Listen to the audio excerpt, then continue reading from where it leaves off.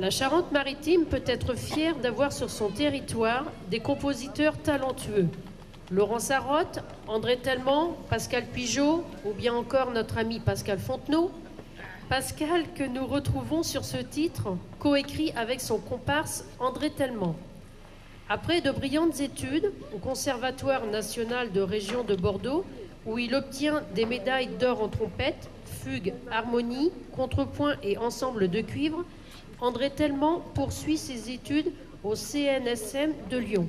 Sanctionné par un premier prix à l'unanimité en trompette, il est titulaire du diplôme d'État à l'enseignement de la trompette et du diplôme d'État à la direction d'ensemble avant. Il enseigne actuellement la trompette au Conservatoire de musique et de danse de Rochefort et il dirige également l'harmonie cantonale de Mirambeau, l'orchestre d'harmonie de Saint-Savinien et la batterie fanfare des Vents Marines à Rochefort.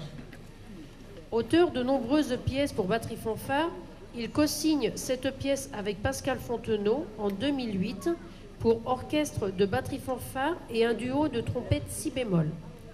Accompagné par nos deux solistes à la trompette, Éric et Benoît, l'orchestre de cuivre naturel vous interprète Rêve d'antan de Pascal Fontenot et André Tellement.